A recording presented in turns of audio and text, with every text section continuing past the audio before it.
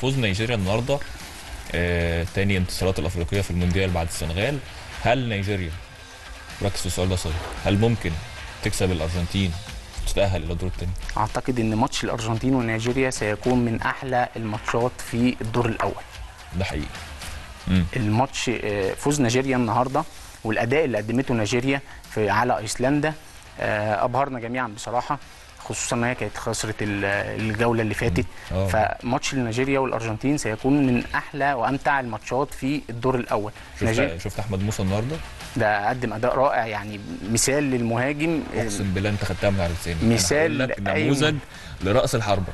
يعني سواء في الهدف الأول أو في الهدف الثاني يمكن شفت الهدف الأول شفت العرضية واستلم وحط إزاي في بدأ ال- الهجمة من نص الملعب وراح. وحط إزاي الكورة والهدف الهدف الثاني برضو بيقدم لك قد إيه بيبين لك إزاي مهاجم بيمتاز بقوة بدنية والتحامات. حتى المدافع في ظهره ودخل ال 18 ورقص الجون وحطها. لا بجد يعني مهاجم فعلا لا غبار عليه. وأعتقد إن هو هيمثل خطورة كبيرة جدا على منتخب الأرجنتين في الماتش الجاي. الماتش مش هيبقى سهل نهائي. خصوصا الاثنين ليهم فرص كبيرة في التأهل. آه ده حقيقي طب نيجيريا آه، موسى ما بدأش الماتش اللي فات. النهارده بيبدأ بيتألق. مدرب المنتخب النيجيري بيغير الطريقة من 4 2 3 1 ل 3 5 2 في ظرف أربع أيام بيحقق نتيجة مغايره تماما لماتش كرواتيا. الفكر بتاع المدربين ده تغيير الطريقة هل بيحتاج إلى مخاطرة ولا ممكن ينجح لو اللعيبة حافظة التكتيك؟ آه، انت اتكلمت في نقطة مهمة جدا. آه. يمكن منتخب برضو نيجيريا آه، من المنتخبات اللي هي تمتلك عناصر قوية. في أفريقيا.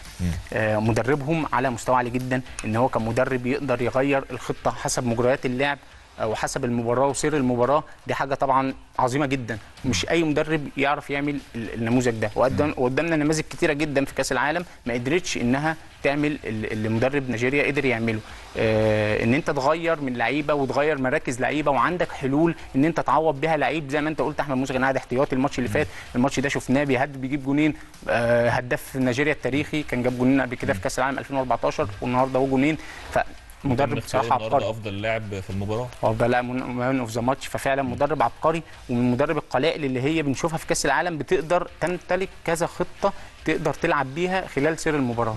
طب معلش بقى يعني معلش انت ليه إحنا بقى عندنا مدرب راجل محترم اسمه كوبر ما بيغيرش ال- الطريقة بين أول ما جه بقاله سنتين ثلاثة أهو بيلعب بنفس الطريقة. ليه؟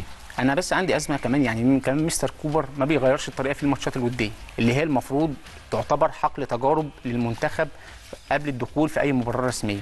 من أول ما جه مستر كوبر والمنتخب بيلعب نفس خطته 4 2 3 1 ما عندوش حلول حتى لو لعيب من القوام الأساسي المنتخب اتصاب وده شفناه مع محمد صلاح لما محمد صلاح غاب الماتشات الودية اللي خدناه اللي خاضها المنتخب أو الماتشات الرسمية. منتخب مصر لا يملك حلول بنفس مع كوبر بسبب الطريقة اللي بيعتمد عليها. لازم يبقى عنده حلول لازم يبقى عنده فكرة لو صلاح مش موجود إزاي نلعب بمهاجمين باثنين مهاجمين وتحتيهم لعيب playmaker يقدر يحرك اللعب؟ إزاي مين مين اللي ممكن يعوض مكان صلاح؟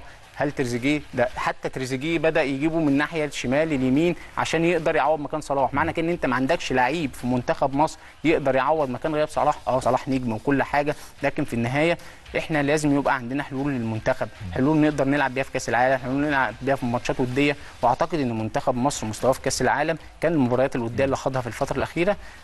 يعني خير دليل إن هو ده كان هيبقى مستواه في كأس العالم. الموضوع مش مفاجأة يعني ولا حاجة.